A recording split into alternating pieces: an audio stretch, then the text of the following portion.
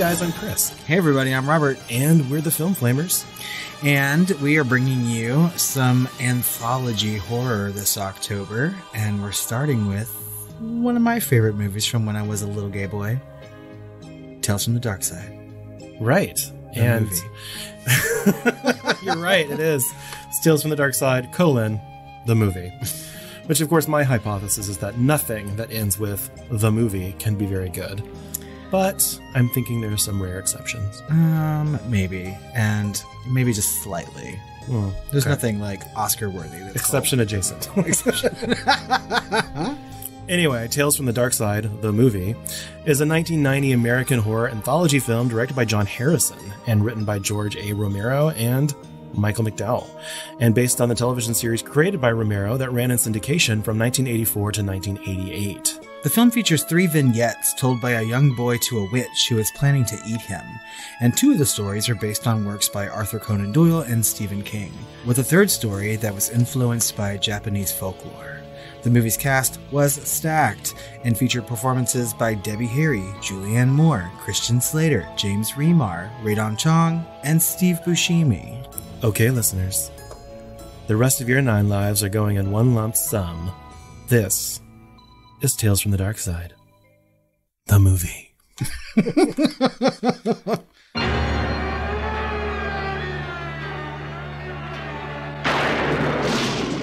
Stephen King, originator of Pet Sematary. Arthur Conan Doyle, author of Sherlock Holmes. Michael McDowell, creator of Beetlejuice. George Romero, director of Night of the Living Dead. Now, these four masters of everlasting horror bring to the screen four tales of overwhelming terror. I warned them, but they wouldn't listen. Tales of diabolical fate. You promised you'd never tell! Tales of ghastly revenge. Grow, O light. Rise, O light. Come forth, O light. Open his eyes. Tales of ruthless evil. That cat has killed three people in this household. I don't believe this. Kill it, bury it, and bring me its tail. Tail, tail, tail. Tales from the dark side. Well, that just about takes care of that, doesn't it? Come, live the nightmare of your choice.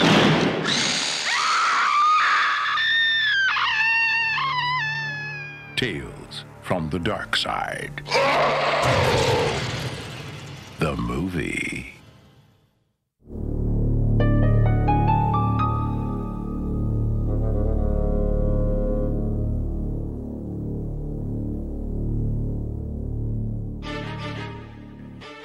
Betty, played by Deborah Harry, an affluent suburban housewife and modern day witch with a heart of glass, is planning a dinner party for her fellow witches. The main course is to be Timmy, played by Matthew Lawrence, a young boy whom she has captured and locked in her pantry, constantly feeding him cookies to fatten him up in time for him to be put in her oven. In an effort to stall her from stuffing and roasting him, Timmy offers to tell her a story from a book that she gave him titled Tales from the Dark Side. The book. She said the thing. She accepts, but one way or another, she's gonna eat him.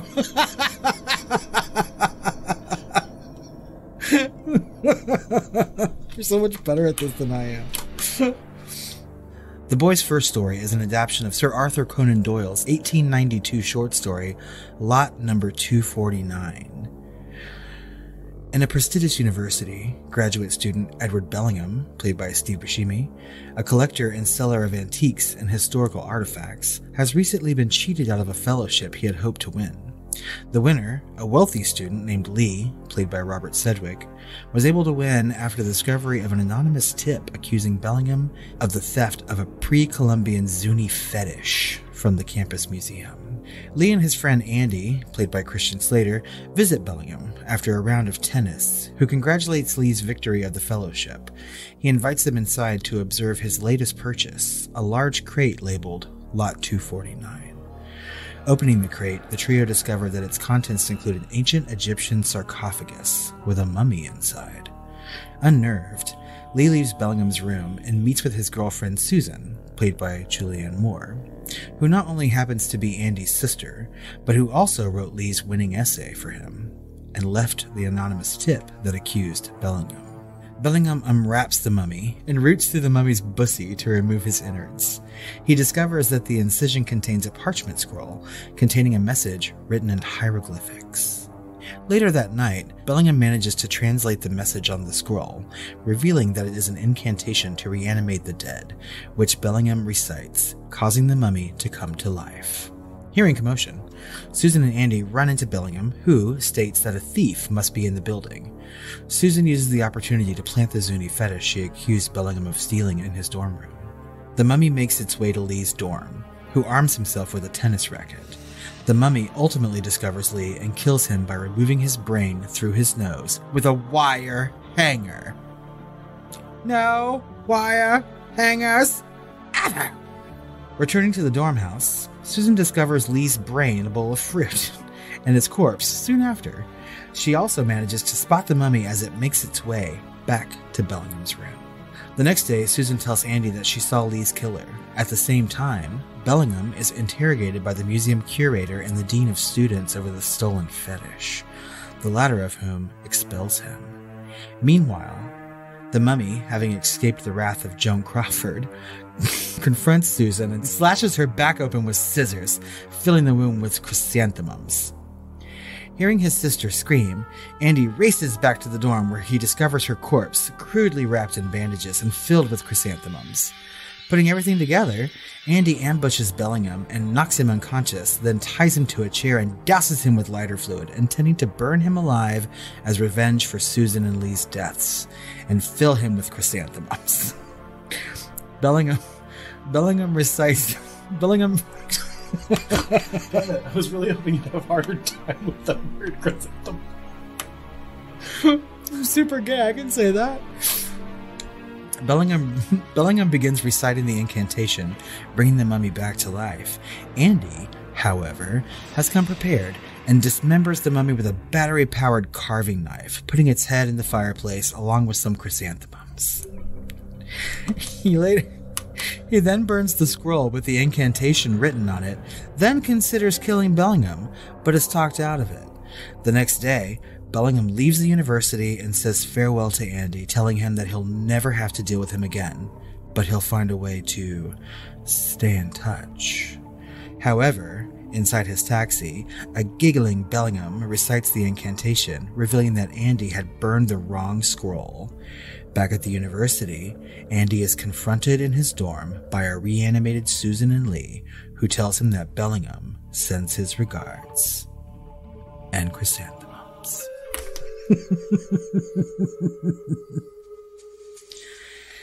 Back in Betty's kitchen, despite knowing that Timmy is trying to stall his death, Betty tells the boy that he told the story very well. Timmy mentions that people will come looking for him if he isn't home by 6 p.m., but he is scared into silence when Betty opens the oven. Timmy manages to stall some more by convincing her to let him tell another story, an adaptation of Stephen King's 1977 short, The Cat from Hell.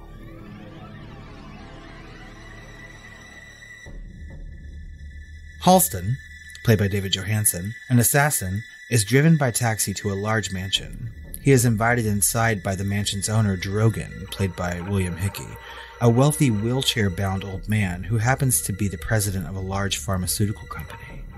In the parlor, Drogan tells Halston that he wants him to make a hit. When told that his victim is right behind him, Halston discovers the only thing there is a big black pussy. Drogan offers Halston. Drogan offers. Drogan offers.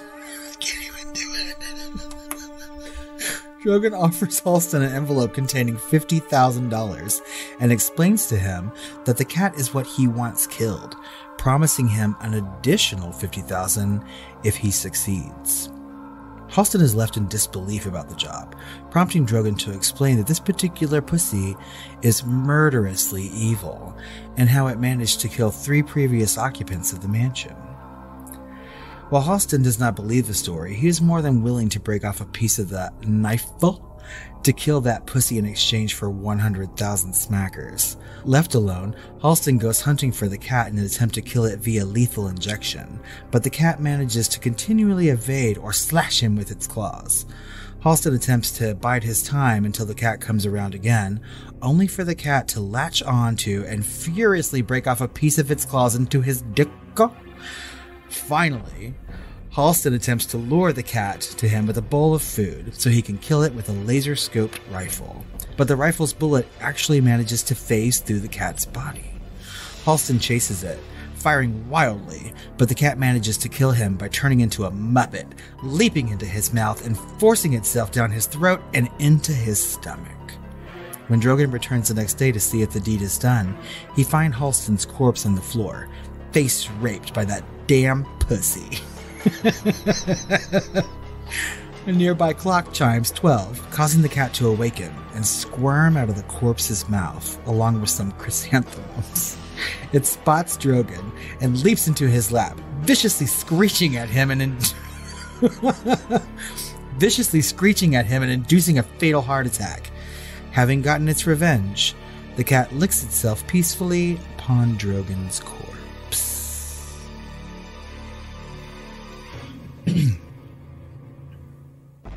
Back in Betty's kitchen, Betty is once again impressed by the story, but she also mentions that her favorite stories from the book were love stories, giving Timmy an idea. In an attempt to stall her once more, Timmy offers to tell her one last story a love story. The third and final segment is an adaptation of the legend of the Yuki-onna from Lafcadio Hearn's 1904 book, Kwaidan Stories and Studies of Strange Things. Preston, played by James Remar, is a struggling artist living in New York City, where a stone gargoyle on a neighboring building watches over him through his apartment skylight. He receives a call from his agent, Wyatt, who asks to meet him at a bar a few blocks away. At the bar, Wyatt tells Preston that his artwork is unpopular and thus not selling, and ultimately resigns as his agent. Dejected, Preston drinks heavily and becomes inebriated. The bartender, his friend Jer, offers to walk him home. Along the way, Preston stops to relieve himself in a back alley. While Preston is occupied, Jer hears suspicious noises and reaches for his gun. Oh, yes. They both reach for the gun. Damn it.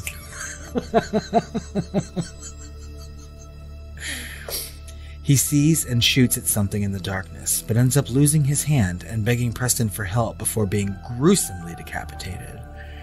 Preston attempts to run from the horrific scene but is cornered by Jer's killer, a monstrous, muppety gargoyle, who proceeds to corner him. As Preston begs for his life, the gargoyle agrees to spare him, but only if he swears to never tell anyone what he saw, what it looked like, or what it did. Fearing for his life, Preston promises. Satisfied, the gargoyle slashes Preston's chest as a way to ask him to cross his heart, then flies away. Traumatized, Preston vomits in a nearby alley. Trying to make his way back home, Preston runs into another alley where he witnesses a beautiful woman, played by Rae Dawn Chong, nervously passing by. Still gripped by fear, he grabs and assures her that she will not be harmed. The woman, who gives her name as Toyota Corolla, claims that she claims that she be- got, claims that she became lost while going to meet friends and was hoping to find a taxi. Preston introduces himself to Corolla and convinces her to call her a taxi from his apartment. While there, Preston attempts to notify the police about the gargoyle, but as he is still bound by his oath, he is forced to let the police hang up. Corolla discovers the gargoyle inflicted wound on Preston's chest and cleans it. Intoxicated by her new car scent, Preston and Corolla make sweet, sweet love.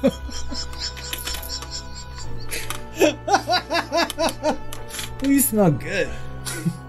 the next day, Preston briefly leaves Corolla to go out for a walk.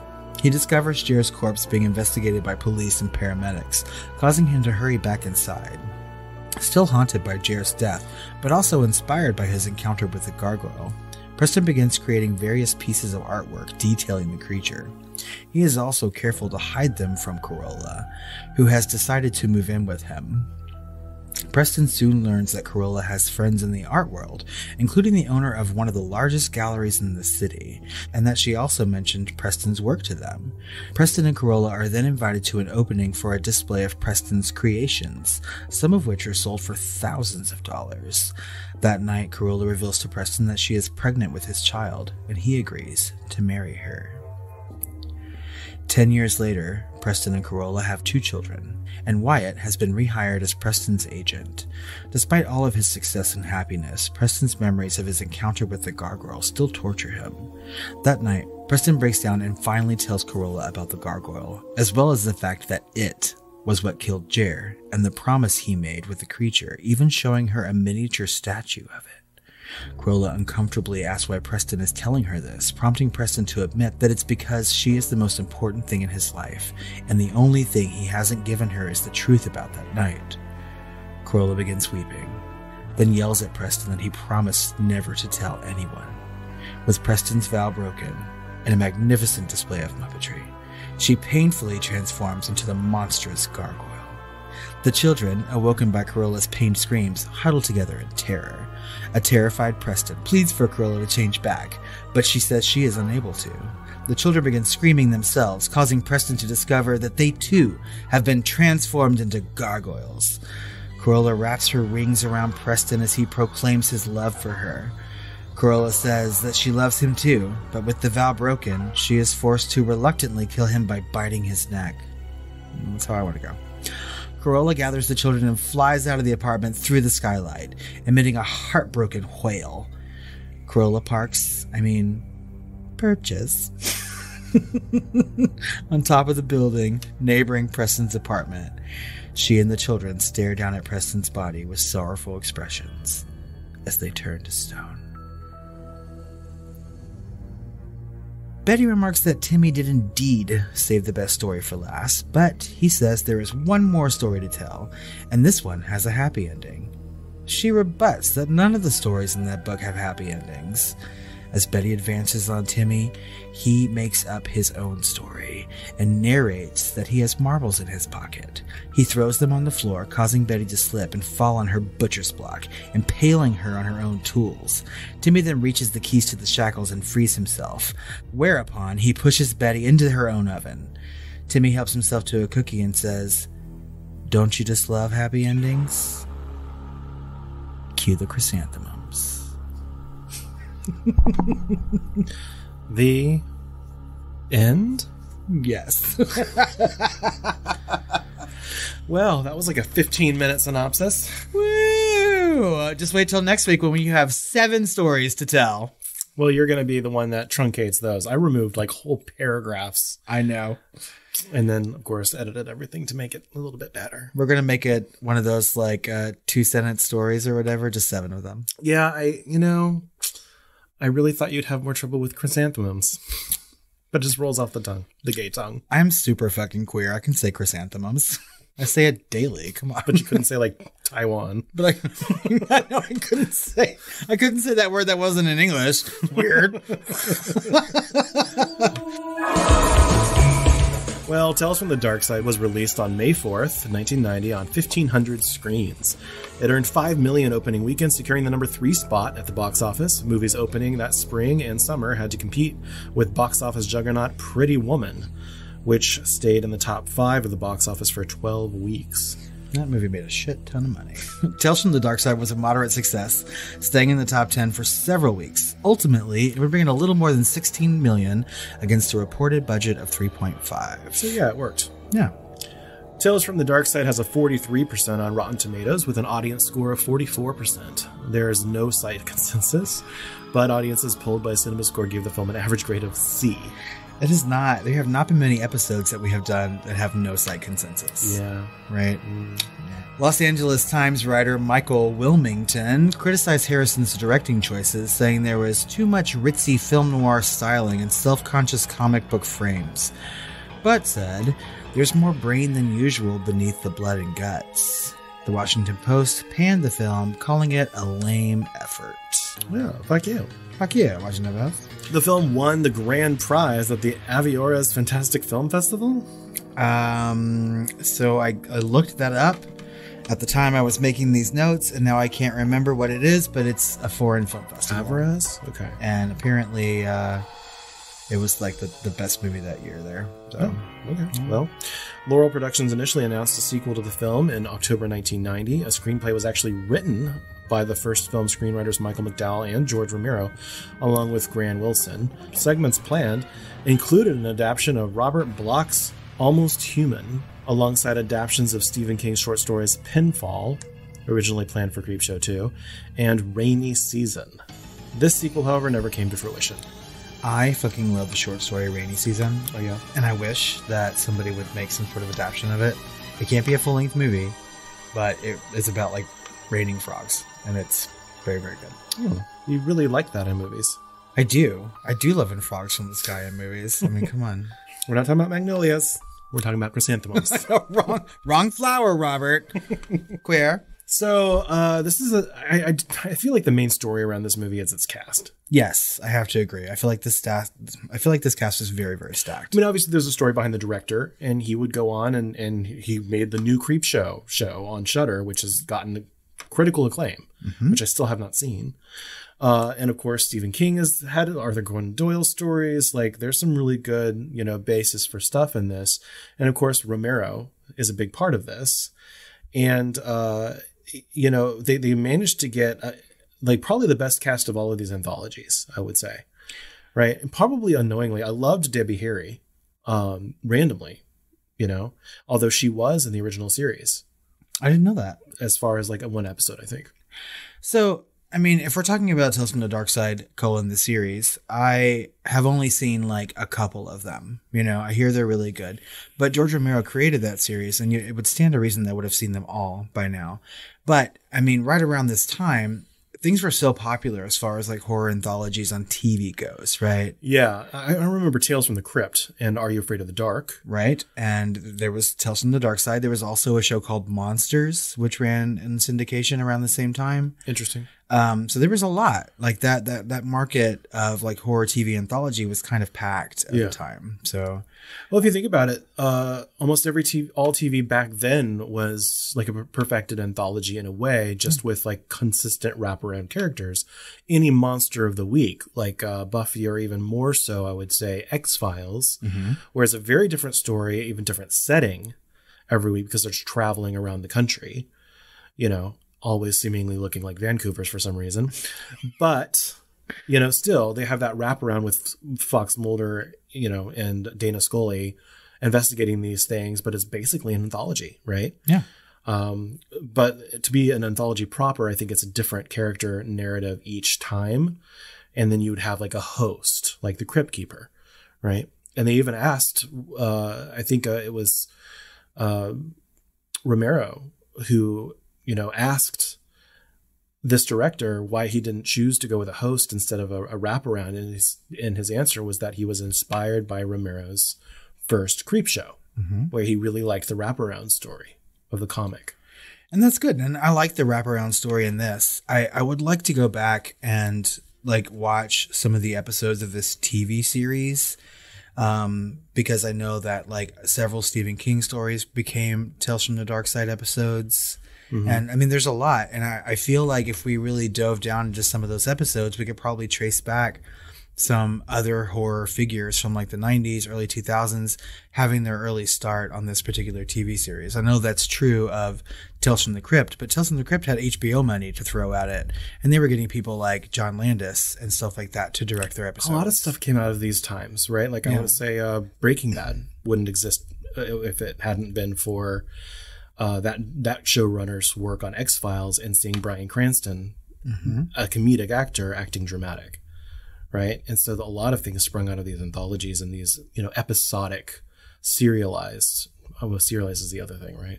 Yeah. Um, well, a serialized, I think it's just more of a continuous story. Yeah. So episodic, monster of the week, anthology type situations in sci-fi and horror. But uh, yeah, so they, they got Deborah Harry, Debbie Harry, Blondie. Uh, you know, Matthew Lawrence went on to do like Boy Meets World and a bunch of other stuff as a kid. Um, we've got Lot 49 with Steve Buscemi, Julianne Moore in her first film ever, Christian Slater, and then apparently Kyra Sedgwick's hot ass brother, Robert. he is pretty fucking hot in this movie. and Cat from Hell was a much smaller cast, but um, had David Johansen, who's also big in, in pop music, I guess, or not blues, maybe, is really what it is. And William Hickey, who's done voice work as well as, of course, horror before, as the old man. And then Lover's Vow has James Remar, fresh out of rehab.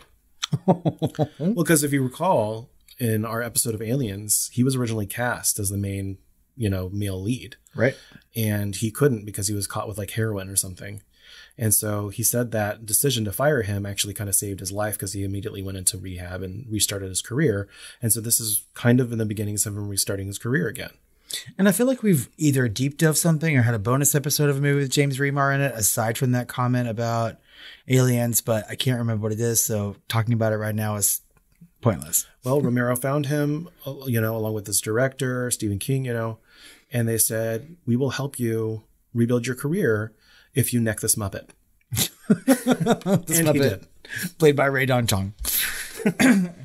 Who I think is amazing. I love Rae Dawn Chong. And we were talking about this off mic, and it feels it seems like her filmography is kind of small, right? But I mean, I really love the movie Color Purple, and she is memorable in that movie in very few scenes. Was it like Fire of the Gods or something like that or something? Yeah, I mean, I, I really can't remember a whole lot. I just I really like the way I like her presence. I Yeah, me too. She has she definitely has a a presence. She has a unique look. So Tales from the Dark Side, the movie, is considered by many fans, and of course, like we said, Tom Savini himself to be the official Creepshow 2, which to me means that we missed Creepshow, or sorry, Creepshow 3, which means we missed Creepshow 2. Yeah, we did not deep dive into Creepshow 2. So we we did a really full episode on Creepshow. And Creepshow 2 to me is very very subpar to Oh. to its original. I So, mean, so Creepshow and this one are the best of what you'd call as the loose trilogy there. Right. Yes. I mean, and Creepshow 2 um, has some good stories in it, and it's all Stephen King work again. You know, it's just not near as fun as Creepshow, in my opinion. Have you seen Creepshow 2? No, No. I mean, I feel like you should watch it at some point just because be a completionist or whatever. Yeah. But there was always talk of having a Creepshow 3, and it just never really happened. well, this is it. Yeah. apparently, right? The spiritual successor. Following the success of Stephen King and uh, Romero's obviously Creepshow from 1982, Laurel Entertainment, that did both Creepshow and Creepshow 2, uh, toyed with the idea of Creepshow as a television series. And after several negotiations and changes due to the rights holders, the decision was made to change the title of the series to Tales from the Dark Side. So really, Tales from the Dark Side show was supposed to be the Creep show show. Oh. which is interesting. Mm-hmm. And it was to be helmed by none other than, you know, George A. Romero himself. That's right. Jorge himself. Yep.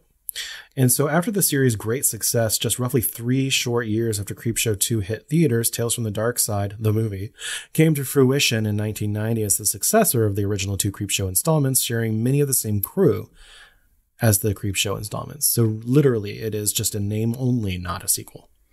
And I think by that time, because I, I kind of remember in the past, you know, the late 80s, Tales from the Dark Side, I, I definitely knew what it was. I had seen a handful of episodes. I was just a young kid, you know, and I wasn't always up at the time, or maybe not had the channel that it was on constantly, but I had seen a couple. And I know by the time I started working in video stores, there were like a couple vignettes that were put onto like tape that I could rent and watch. And those were the ones that I had seen. But it was a fairly popular show.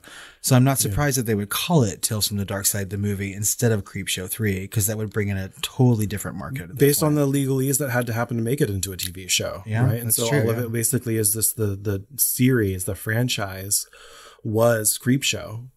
Um, but now it has been turned into Tales from the Dark Side. So fans should everywhere should really recognize these as the same franchise. And I didn't know that going into this. I kind of knew about it just because I like I like all these movies. Creepshow 2 being the least Yeah. of my favorites, but like this one and and uh, the original Creepshow are really really good.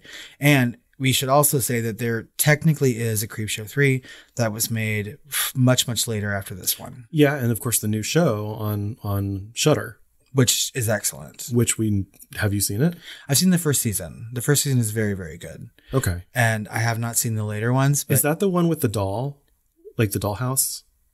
Uh yes, in one of the first episodes. Yeah. Yeah. Okay, that was really good. I know you've seen some of them. Yeah, I watched them in Boston, Mm-hmm. like the first two or three episodes. It's a good show. I mean, like it's, and I am a fan of anthology things. You know, like I, I really like anthology horror television. Like it, it makes me happy. Yeah. And I like anthology movies. It's right up there in my top three subgenre. Right. Which is why, like, you know, sometimes in October we'll like talk about anthology film. And after this one, we're kind of gonna like start to the dregs of anthology. Like we're really hitting the big ones, and it's probably pretty much it after this one and next well, we'll week. see. We don't have to do everything, you know. We can kind of switch gears, but and not to belabor the point, but the second story in this, called "The Cat from Hell," was actually originally intended for Creepshow 2. I didn't know that. Yeah, this, the, but it was dropped because, based on budgetary reasons. Yeah, the stories in Creepshow 2, there's like there's there's three stories in that one too. And I, I kind of enjoy anthology movies that have a, a smaller amount of stories, right? Because it, it feels like there's less filler. You take more time to craft and tell a story. Yeah, we right? couldn't have never gotten that last story about the gargoyles as at its length with any of these others. I don't think so. I'm glad it was only three. But speaking of which, three cast members of this movie also appeared in Tales from the Dark Side series, uh, and that was Debbie Harry who appeared, and Christian Slater as well as William William Hickey, that the older mansion holder owner guy. It's interesting. I would like to see those episodes. I, I really think I'm going to go back and like watch this show. Like I want to. I'm wondering why. I mean, Debbie Harry was a little flat, but I mean, I'm wondering why she didn't just like continue with that acting streak. Well, I mean, I like Debbie Harry mostly because I'm a huge Blondie fan, right? I feel, I mean, like I love Blondie and I love Debbie Harry as a person, as a persona. But the movies that I've seen her in, while she's captivating, she's not a great actress. No, she's right? a little, like I said, she's a little flat. Eventually, we're going to watch and talk about Videodrome, right? And while she's integral in that movie and also captivating as an actress to look at, her acting performance is kind of Yeah, flat, as you say. So yeah. I don't want to say bad. no, she wasn't bad in this movie. Serviceable. Serviceable is a really good adjective for what Debbie Harry was in this movie. But I mean, that's just the wraparound, right? And I mean, it, it served its its purpose. And I feel like we got a little bit more of the wraparound throughout this than we did in Creepshow. Like that was really just the start and the end of that movie. In betwixt all these stories, we are like seeing the switch in this little boy, right? Yeah. So it's a little bit more enjoyable, a little bit more funny, I think. Well, do you want to walk through these stories a little bit? I don't want to synopsize again, but what are your thoughts or feelings about some of these uh, stories? Yeah, I think that's a good way to do it because I think that we pretty much laid everything out in the synopsis. But I mean, we can start with the first story, Lot 249, and just sort of like talk about the things that we liked or didn't like in it. Yeah, this is my least favorite story of them all. Agreed. Um, the the mummy just looks stupid, cheap to me. The deaths are not scary. No. Uh, when they're trying to hide from the mummy, they're not scary because if, if if the actors are not scared, which none of them really are, No, they don't look scared when they're being murdered. no, they seem kind of resigned to it. So the direction here for these actors in this story was not good. No, I completely agree with you. Uh, the thing I like most about this story is that this one has the the the, the most stacked cast, right? Yeah, and it's like, how do you, how bad of direction do you have to be to get people like Julianne Moore and Christian Slater and Steve Buscemi, you know, to like just understate everything, Right. You know, everything with a flat, you know, expression, nothing's happening. I mean, it kind of feels like I want to see the Wes Craven version of this, where everyone's like acting like a fucking cartoon. Whatever you do, don't sniff the chrysanthemums. or a Joan Crawford one. I mean, if a mummy's coming at you with a wire hanger, I'd be like, no wire hangers. Allah! I mean, like, For real. Come on, where's that level of acting? We need to do our own anthology series where it's just off of these like wacky hypotheticals. Joan Crawford gets attacked by mummy. oh my god, it writes itself though. I mean, really, Christina, bring me that axe Christina, again. bring the chrysanthemums. I mean, come on.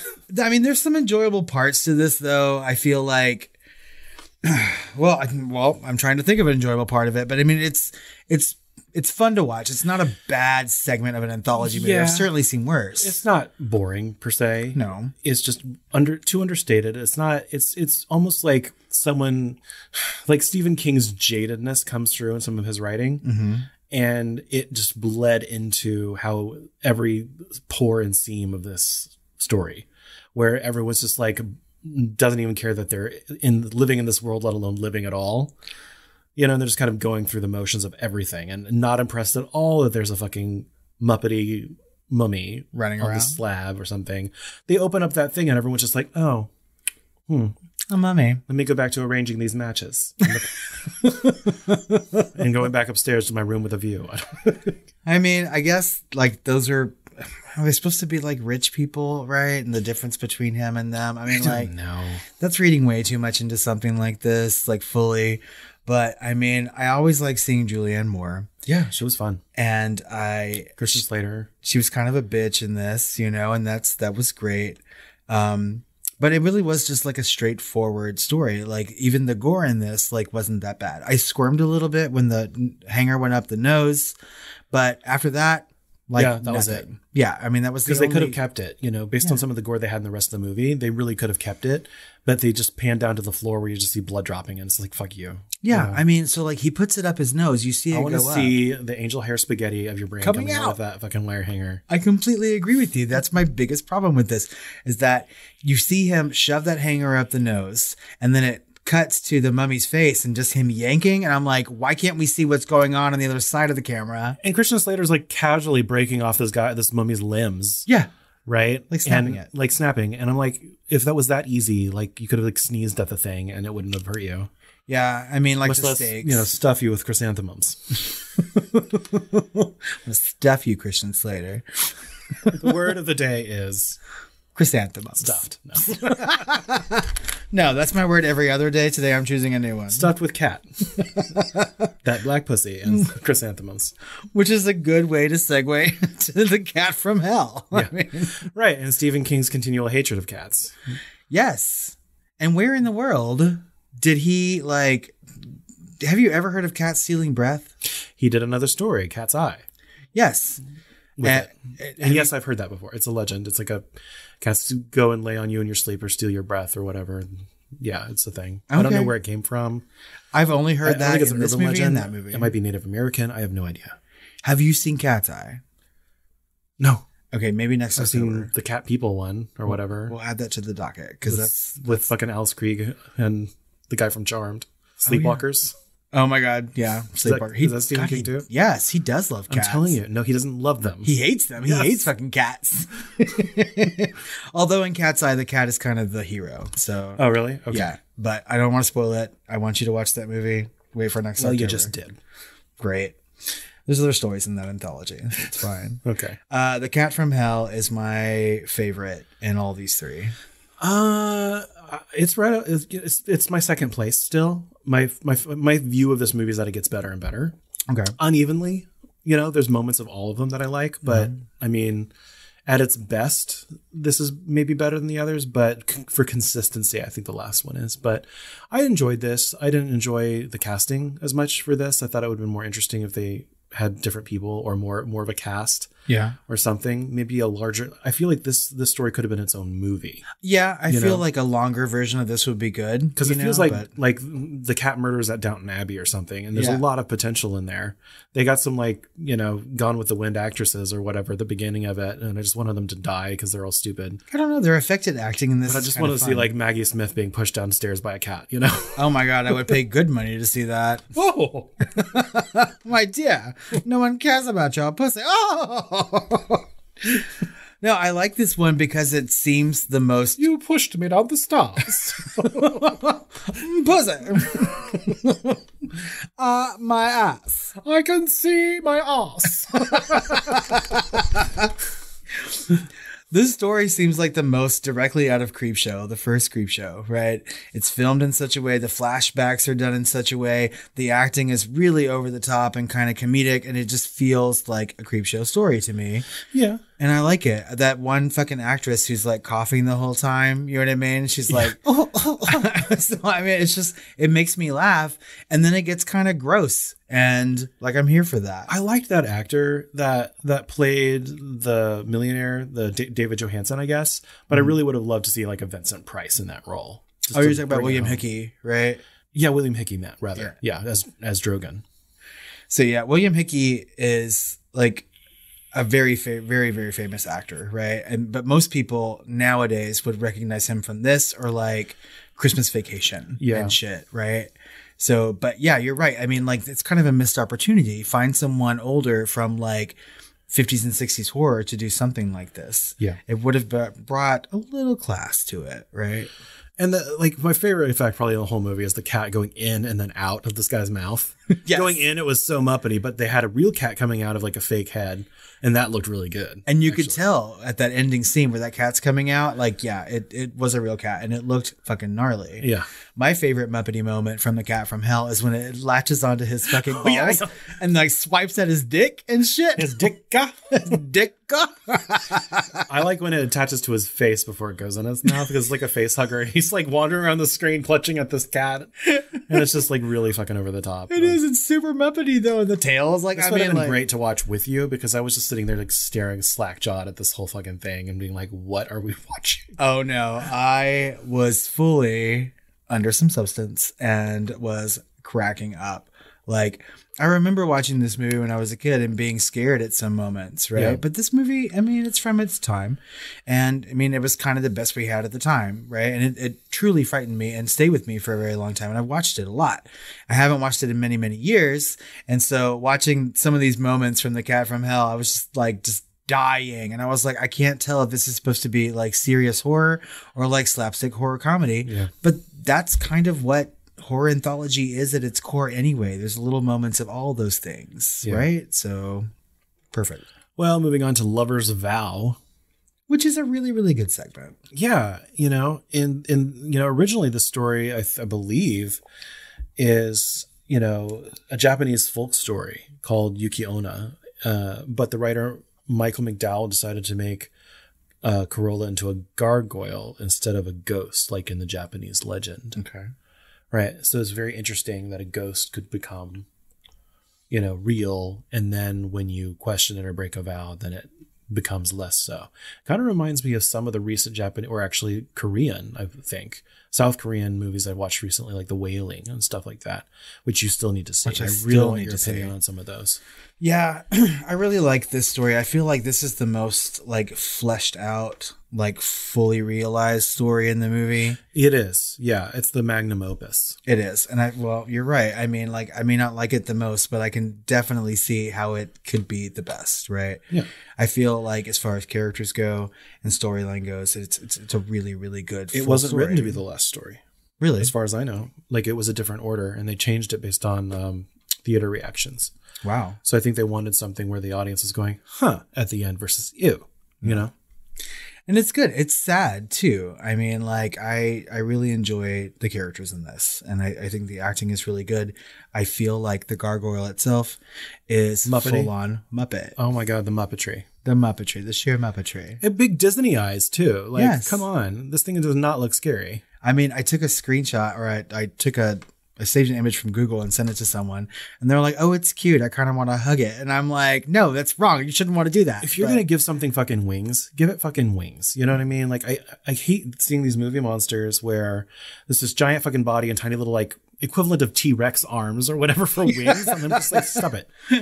Those wings should be like part of the most terrifying part of it. You know, it shouldn't be like these little flappy, little flappy things in the back. Just adds to the whole Muppetry. You know. It does. And so it like walks up to him and it's just like, I'm going to spare your life, but you have to do this. And I was just like, it is kind of cute, you know? So, I mean, like, I'm not truly horrified. I was certainly not horrified of the, the, the kid gargoyles. I was like, they're also extra cute because they're small. it also kind of, if you think about this too much, it just kind of falls apart, unlike the other ones. Yeah. You know, I like that the cat was there as kind of like the spirit of all cats or something, Right. you know, that came back. And uh, it actually reminds me of a really cool um, bonus. They came out with two bonus episodes to The Sandman. And one of them is all about cats and the cats' dreams and what the cats are thinking about humans and, and things like that. and how if like this cat can spread uh, to even just a thousand cats and they all dream the same reality at once where there's giant cats and they're just like toying with humans and eating them raw and everything like that that they can make that a reality. And the reality will be not have changed from the human uh reality but will have always been because that's how the dream works.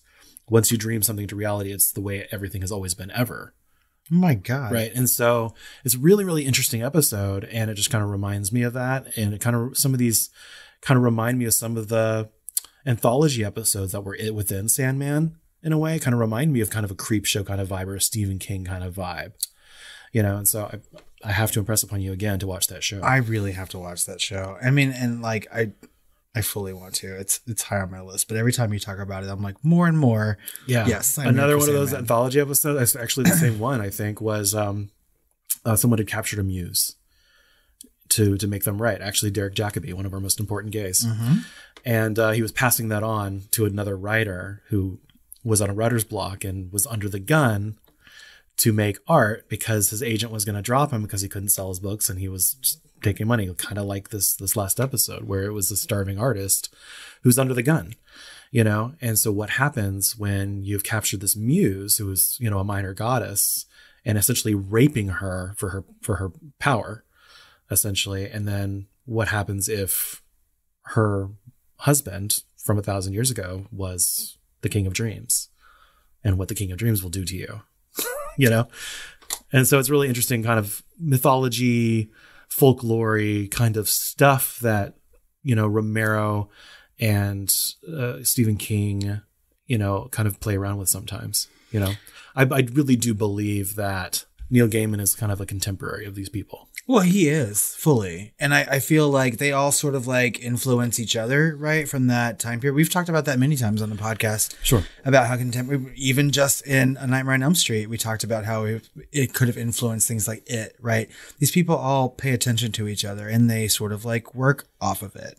And I mean, in this particular segment of this movie, um, the thing I like the most about it is like that gargoyle, like watching him from afar. Like this gargoyle is clearly sentient. the gargoyle is scary in and of itself when it becomes not stone it's muppety Yes. But the idea that it's watching him and it sort of planned out everything that it did, like it killed his friend and imposed itself upon this person because it was already in love with him, right? that's i guess that's where it doesn't fall apart because it's like why would it kill the, his friend like why what is it doing coming back to life to just kill someone and then go to this other random person and say this It wanted and i guess that's the thing i was like is it part of like a sacrifice to become human it has to kill life and it didn't want to do any more than necessary but maybe you're right maybe it was watching him and fell in love with him I mean, that's what I get from it. and put him in the state to to be able to make a vow like that. I don't know. Why did it have to kill anyone to do so? It could have scared the shit out of him anyway. Yeah. Without killing anyone. It's true. Scratched the shit out of his chest. It did. And I mean, and his friend was dead. Maybe You she was just friend like, and took off a nipple. she was You're just dead to me. she was just like, I don't need the competition for attention. I'm going to go ahead and kill this friend and then we'll be lovers. Yeah. I'll help him through this hard time. But I mean, like, how did you feel about the moments when Rae Dawn Chong was transforming back into the gargoyle? I Oh, that was mean, better. It was like a classic werewolf transformation. I I, thought it was done fairly well. I, I agree. I thought it was it was okay. It was certainly less muppet muppety than the actual gargoyle It was also kind of gross, which was nice. Yeah, skin tearing off of things is kind of nasty. I would liked to see that happen to the children, but I'm also not a pregnant lady. Yeah, I know. Uh, We shouldn't wish for Based on recent conversations. right. That would have been a, maybe a little too much, but I would have loved for one of them to have like a head brace, like pop off or something as they become a gar. I don't know. but It's like a little gargoyle with braces on. oh my let's rewrite this movie. Let's do this again. It's the small details that really just do it. I mean, in any film. But we have the conclusion of the wraparound story, right? So the witch is ready to like get that child in the oven, but he gets his comeuppance, and we see the end of Debbie Harry, and that's the end of the film. And I still enjoy this wraparound a lot, and I feel like it does a better job than even Creepshow. Yeah. I feel I feel more fulfilled in this one. Although, like, killing that dad at the end of Creepshow is pretty good too. So maybe almost the exact same thing. Like the small child gets comeuppance on the older person trying to impose upon it. So Yeah. Do you have any fun facts for me? Not really, you know. um, I want to say, okay, the character Halston, played by David Johansen, is in the kitchen after his first battle with the cat and chides himself, saying, "Can't get hot, can't let yourself get hot ever. You make mistakes you, and you're, when you're hot, or whatever." Right. Mm-hmm. So David Johansen, is also known as Buster Poindexter, Yes. obviously the musician with many famous songs, among them the very successful "Hot, Hot, Hot," in which the singer professes how hot, hot, hot he is. So Thank you, God, because I was watching this uh, this last night and I was like, "Is that Buster Poindexter?" and I was just like, "It looks like him, but I can't remember." And then I saw the cast and I was like, "Well, obviously not." But thank you. Great. Now I have hot, hot, hot stuck in my head. So for my next one, for these, you know, huh, facts rather than fun facts, on the commentary, Harrison asks Romero if he recalls where King's short story, the um, the Cat from Hell originated, but he couldn't recall. So the truth is, it was first premiered in Men's Magazine back in the 1970s. They printed the first part of it and asked readers to finish the tale, and then the next issue included both the winning entry and King's actual ending. So the story popped up in a handful of uh, multi-author and anthologies over the years before finally landing in one of King's own collections. I can't remember what collection that's from. I would have loved to see the winning uh, article. Oh my God, for real. I love Stephen King short stories. I feel it's where he is. I think that's a cool contest. Like I would have loved to. I, I don't hear about the types of things anymore, right? because people don't read anymore. I mean, like honestly, and we don't. We also we don't have magazines where authors are being published like that. Like Stephen King really got his start submitting these short stories to to men's magazines for a, a long time before he even wrote Carrie. Yeah. and so that just doesn't happen anymore. What we need is more people reading Playboy. Honestly. Well, this is Men's Magazine. Well, I mean, that's a men's magazine. but no, I mean, like Stephen King short stories are excellent, and there are like a gobbledygillion of them. We really like stop making these remakes of movies that have already been made about Stephen King novels and focus on these short stories. I beg you, please, Hollywood. Like you could have an entire anthology series on TV solely based on Stephen King short stories, and it would be phenomenal. Okay, What else? that's it. We're done. That's it. No That's more it. fun facts. No more fun facts. Well, they were they were fun, and they made me go, huh? yeah, Things that made me go, huh? much more the latter. That's right. But we have some questions to ask about Tales from the Dark Side, the movie that we're going to start with. No, we're not going to start with. Where is this? Oh my god, we're not going to start with. Is this a horror movie? Because clearly it is. But were you scared while watching this film? No, no, no, I wasn't scared this time No. either. I was kind of grossed out in moments, but no. when I was a kid, though, I was pretty scared. I'm sure I would have been too. Yeah, Yeah, but Back I've when seen I was a sweet lot. summer child. Yeah, I mean, I do have a raging nostalgia boner for this movie, so um, that leads us into our next question. Out of five stars, what would you rate Tales from the Dark Side, the movie? You know, there's there's moments in this movie that's like a two star for me, and there's moments that are like four stars. So I kind of met in the middle and said three Okay, because I, I have no nostalgia lens for this. I've never seen it before. that's right. First time for you. First time 2022, right? So I'm looking at it with today's eyes, post Midsummer and Witch and It Follows, you know, eyes and I'm so sorry. you know everything else, and even watching things from around this time, um, you know, or even before, you know, 1979's Alien or 1984's Nightmare on Elm Street, you know, things like that. And so I'm comparing it to all these things, uh, you know, things that came out before it, things that came out after it, certainly. And so I I have to give it kind of a, a little bit above middle of the road. You know, I have to give it like it's uh, enjoyable. Right, three for me is enjoyable. So I rated this film four stars.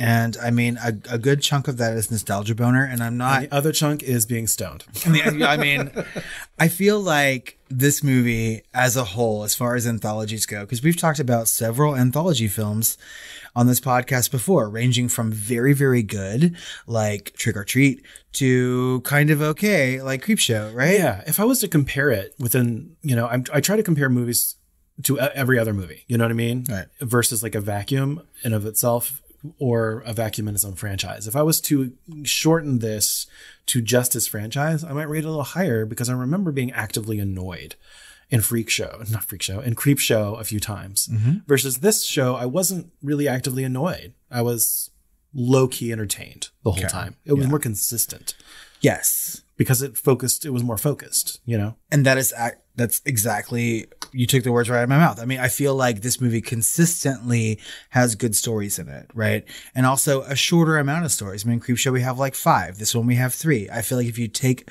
a smaller amount of stories and really focus on making them really good, it makes the anthology better. And I feel like I'm constantly entertained in this movie. Yeah. And um, I think that there's actual horror there, right? As as muppety and kind of comedic as it is, that kind of fits the TV anthology vibe that was going on at the time this movie was made. And I feel like it checks off all the boxes that it needs to. And I really, really dig it. So four stars all the way. Yeah, you know, and it could have been cut a little bit in the first story and certainly in the last story a little bit, you know, and squeezed in maybe a fourth story, but but then it might have been too much, might have been fatigue, you know. So I I really think that this three, maybe four stories tops, you know, is uh, you know, really kind of packs the best punch for me. How do you feel about rewatchability, though? Um, no. No, I might now. I, I would watch it with friends. I would wouldn't watch you again show it to myself. people? There, that's a better question. You know, if I was like, let's watch an older anthology or something, Uh-huh. this random stormy night was something that happened in reality versus you know the hundred other movies I want to watch, well, I mean, and with some friends who would sort of appreciate. I would watch it with you again Yes, okay. for for sure. And I wish I had actually. And we we can we can do that a couple years from now. Yeah. But I feel like I feel like we know some people who would enjoy the the the, the muppetry of it all, and we would have a good time watching this for both its good and bad elements. I would watch this again in less than a year if it was with the right person, like with you. Okay, all right, and that that factors into my rating sometimes. I don't know too, how so- uh, that scales, you know, but yeah, I know. you know, for me, it's still a solid three. Okay, and I, I I'll take that. It's not a it's not a one. So yay. No, I enjoyed it. Uh, so finally, and some may say the most important question: Who's the hottest guy in Tales from the Dark Side? The movie.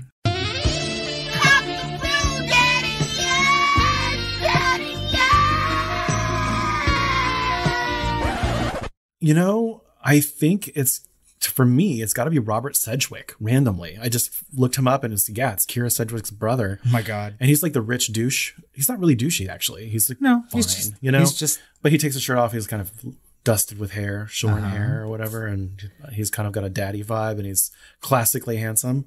I don't know what happened to him, but Robert Sedgwick for me is the is the guy. I'm kind of torn a little bit between Christian Slater, who looks good as He always looks kind of rodenty to me. I mean a little bit, but he he's he's blonde in this movie too, right? Between the short blonde. rodenty man of that era, I prefer Ethan Hawke.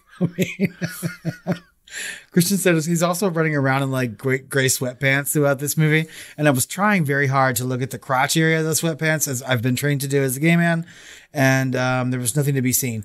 So ultimately, I have to pick James Remar, like fully. you know there was there was a hot guy in each one of these stories there was christian slater and robert sedgwick you know and for some of you out there that like that sort of thing steve buscemi i guess and uh you know we actually had david johansen as halston who was kind of handsome In a off kilter way. yeah, sure. and then um in lover's vow we had james remar you know and actually wyatt or who i guess the the bartender that gets killed he was actually Yeah. more handsome in he was opinion he was very very attractive um, i think that's robert klein and a very nice. or no, guy. it's Jer, right? Jer's Jer, on the- yeah. Ashton Wise. Then is the is the actor for that. Yeah, he was good looking too. Yeah. So there's honestly every anthology had had me something to look at. You know, I mean, thank you, less so from the Cat from Hell, but you know, but the rest of them, he kind of reminded me like of a young Orson Welles, a thinner, younger Orson Welles or something. I can see that. Especially how it was photographed, because that one was photographed really like noirish. Yes, it was. Okay, I'm on board with that. All these choices are very, very good. So look for our TikTok whenever I post it. Of all Sorry, I got Guys. us way off track there.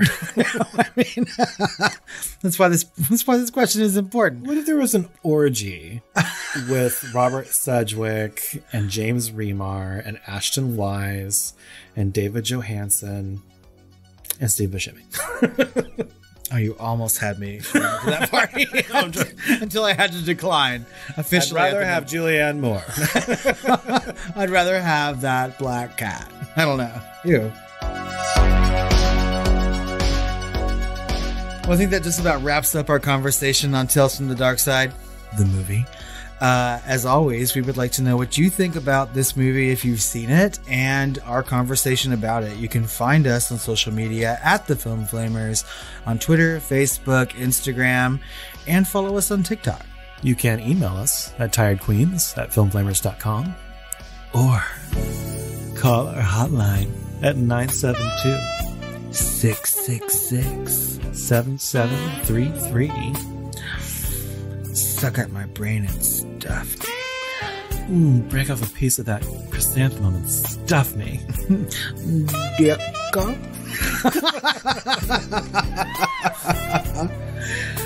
we have more anthology content coming out. I want you for to murder my black pussy.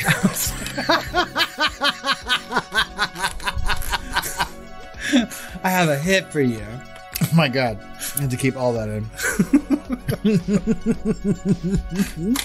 As I was saying, we have more anthology content coming out for you this October. Next week, we are discussing 1972's British anthology film, Tales from the Crypt. That's right, with one of my favorite horror icons, the Crypt Keeper. That's right. And one of my favorite Dynasty actresses, hmm. Joan Collins. And the Crypt Keeper, of course, is played by Cindy McCain. Cindy McCain plays a cameo. but also, later this month, we have the return of the Film Flamers Top 10s. So stay tuned when we talk about The Simpsons Treehouse of Horror. Dun dun dun. If you need some more Film Flamers content, please head over to patreon.com slash the Film Flamers and join the family. Get all of our bonus content. Get these episodes early. They've been coming out very early lately. So come over there and join the family. Right, you can get all those early episodes and all the bonus content for as little as two bucks. For a cost of a cup of coffee. And finally, guys, we are inching ever closer to being able to be critics on Rotten Tomatoes. And to do that, we have to have at least 100 reviews on Apple Podcasts or iTunes. So, if you feel so inclined, help us out. Go over there, leave us a snippet of why you like us, leave us that five star review, and we're going to read those reviews on next month's Shooting the Flames. That's right. Well, Chris, it's time for me to go off and get stuffed. With chrysanthemums? Or a cat. I mean, dealer's choice. Okay, well, black pussy it is. You want to have some uh, sweet dreams. I liked how that Muppet gargoyle was so resolved. She was just like, "Well, you broke your vow, so." Yeah, that could have been a moment of fucking tragedy. She's like, Ah, and she's like, wah, wah. "But you did it, but you did, James Remar. You did."